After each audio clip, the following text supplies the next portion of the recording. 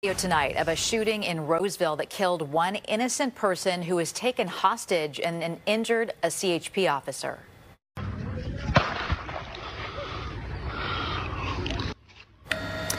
That man captured this video while hunkering down inside a baseball dugout during the shooting. It all started at about 12:30 this afternoon when police say a suspect shot a CHP officer while officers were serving a warrant near a park. When the other officers arrived at the scene, they say the suspect started shooting and then ran away.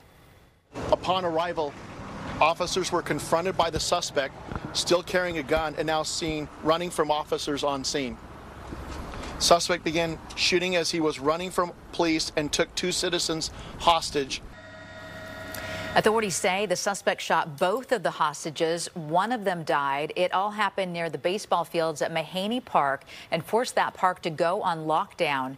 There is no word tonight on the condition of the CHP officer or the other victim. The gunman has been released or arrested.